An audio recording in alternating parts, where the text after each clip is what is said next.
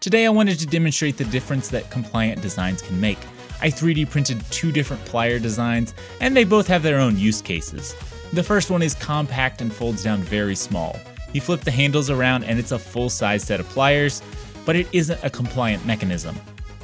This purple plier prints in one piece as well, but uses the flexibility of PLA to create this spring in the middle.